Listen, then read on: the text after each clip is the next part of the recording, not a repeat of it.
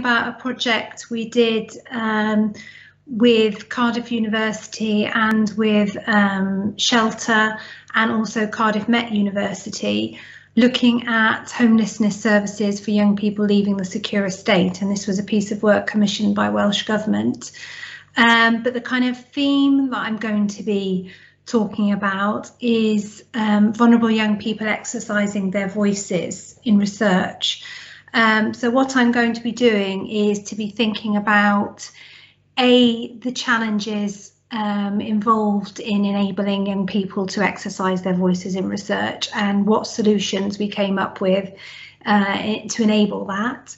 And then B, focus in on the perspectives shared by young people um, because interestingly, those were the findings that dissented or um, were different from the perspective shared by the adults. So I think that kind of uh, ties in quite nicely to highlight why it is impo important to ensure that young people are involved um, when um, a piece of work is looking at evaluating services that are provided to them because they had a very different view of uh, the quality of work that was being done to the adults that were providing that service.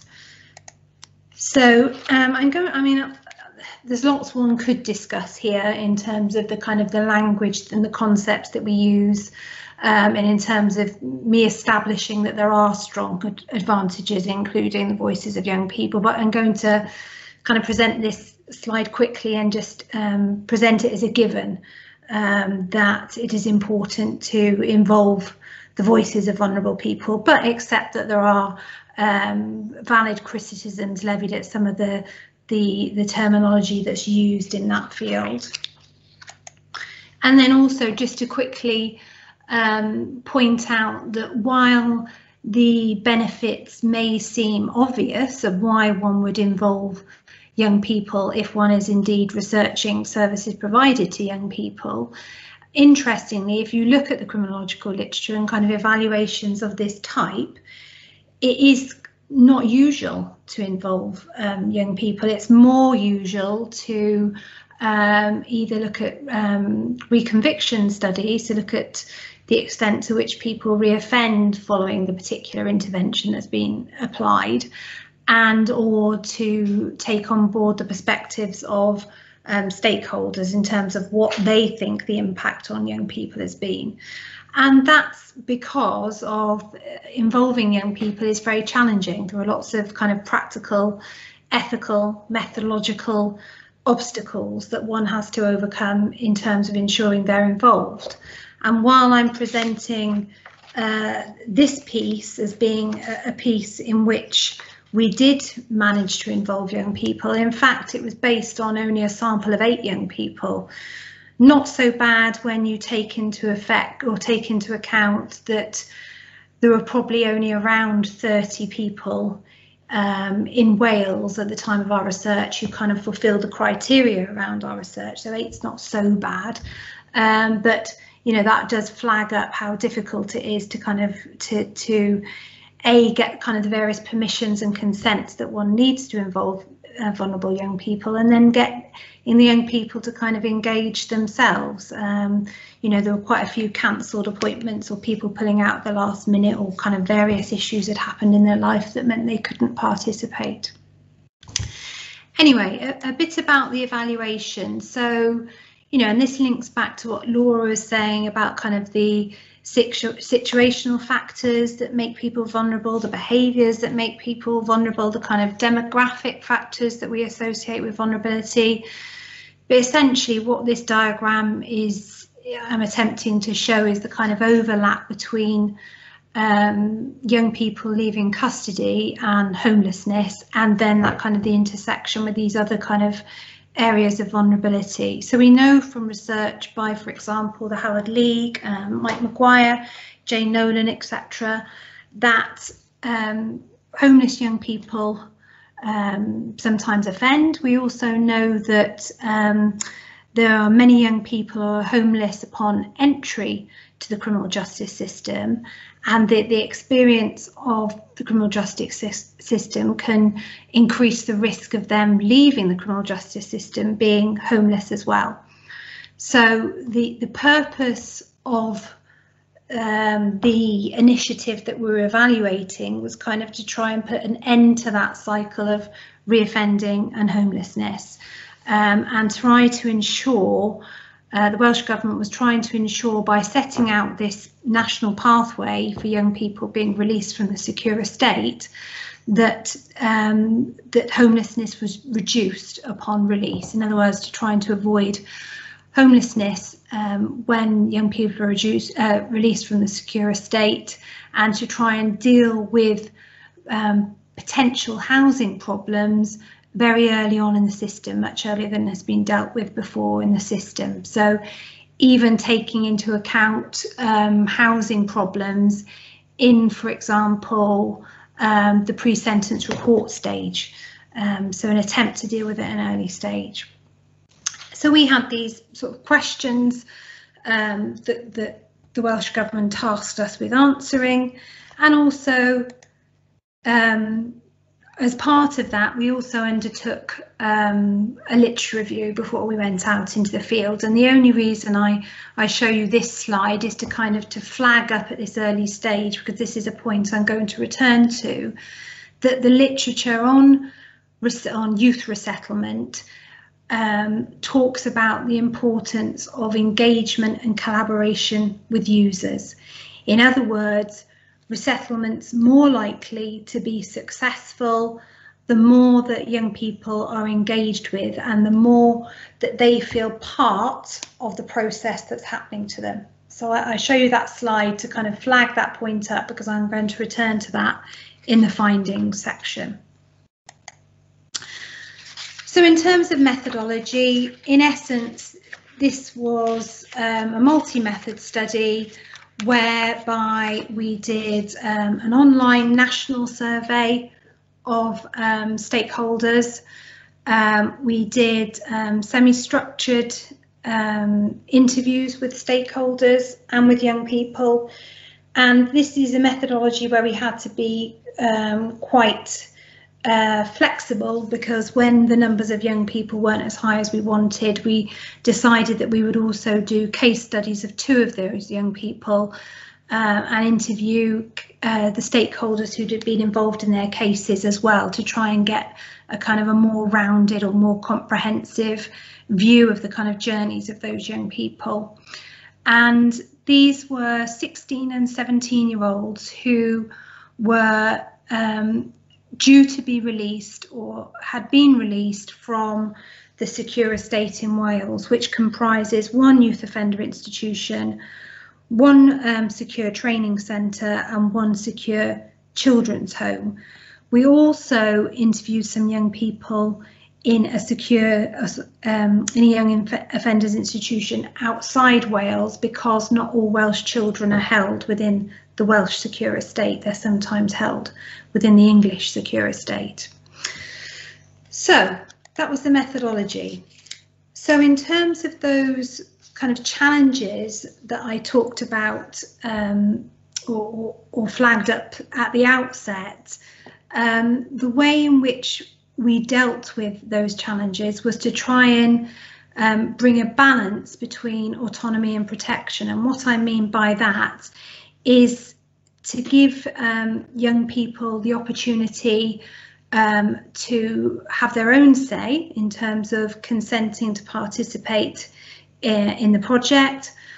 Also in terms of um, being involved um, as co-producers of the project, which I'll talk about in a moment, and um, sharing their voices in terms of being participants as well but to also at the same time balance that against ensuring that their well-being was protect, um, protected.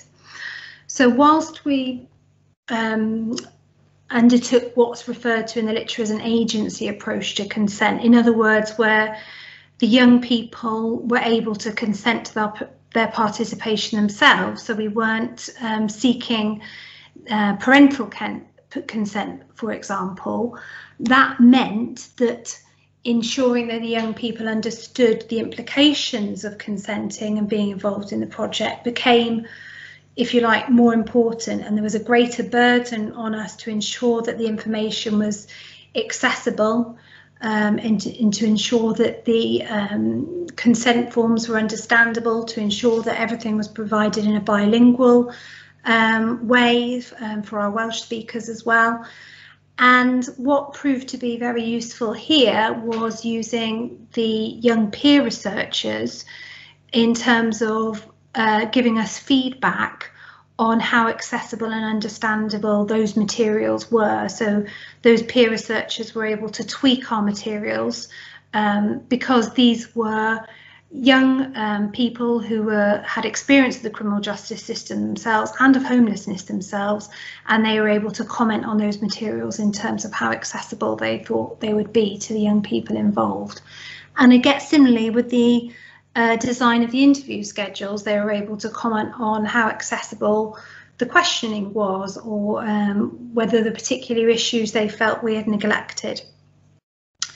And then balancing that up against um, protection, we had to think very carefully about uh, confidentiality. So one challenge we faced was that Welsh Government uh, wanted us to um, upload the transcripts of um, the interviews with young people and the case study transcripts um, at the end of the project.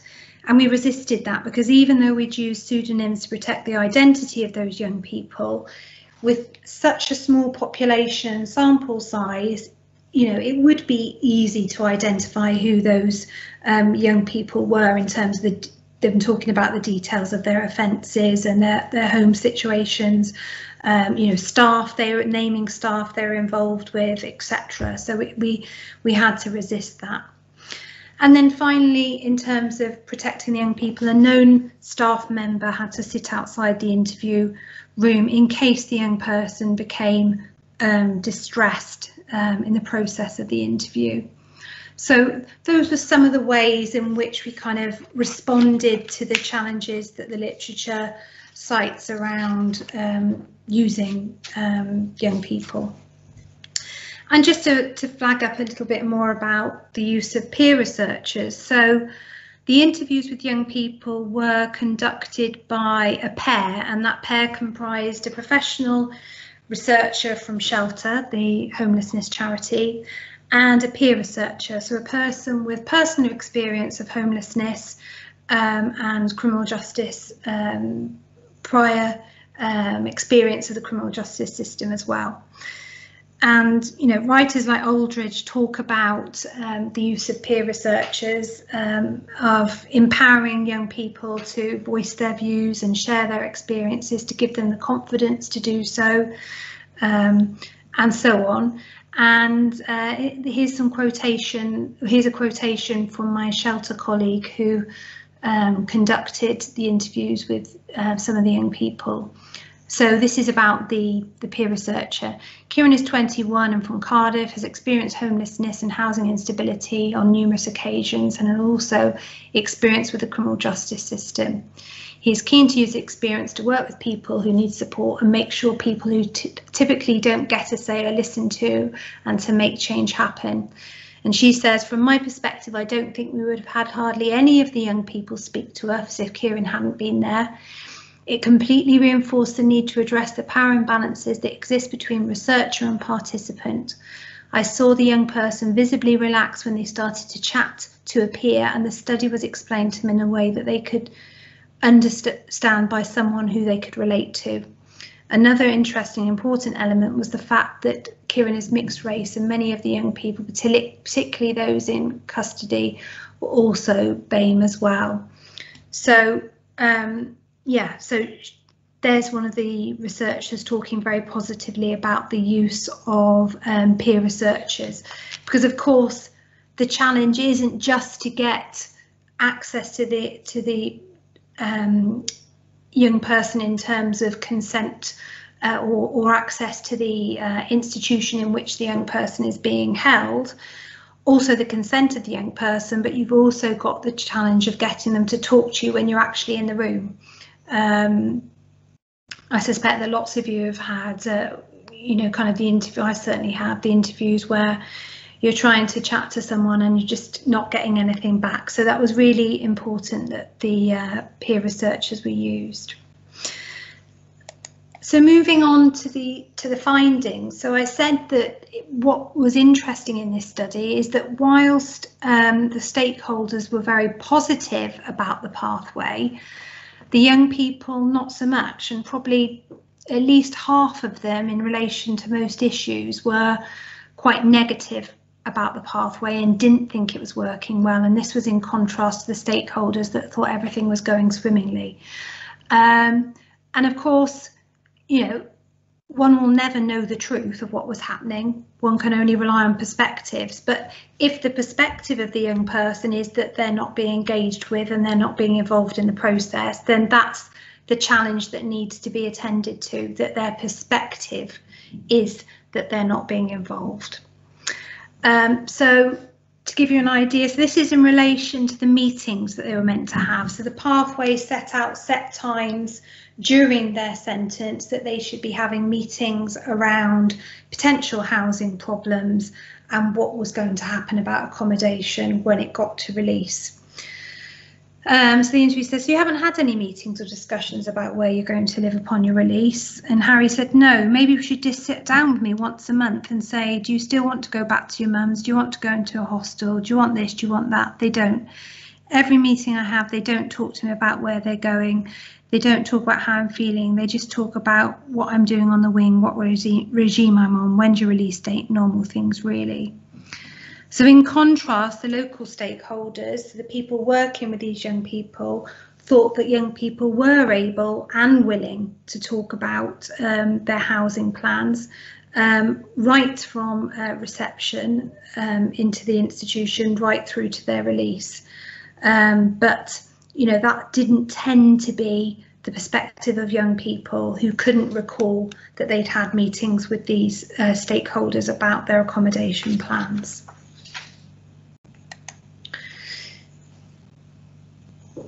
Again, the sort of stakeholders' perspective were that young people were involved in completing paperwork about themselves, but no, none of the eight young people who we interviewed could recall completing any paperwork which asked them about any housing problems or accommodation. Um, so again, that was um, something that where stakeholders and young people they didn't agree. Um, and in terms of keeping them info informed of where they are actually going post release, in other words, of their uh, destination accommodation, none of the young people had had a chance to visit um, the accommodation um, that they were going to, but they all said they would have liked to have visited it. So that was something that they were all keen on doing. And interestingly, the senior stakeholders said that is something that could be possible to range as part of um, ROTL.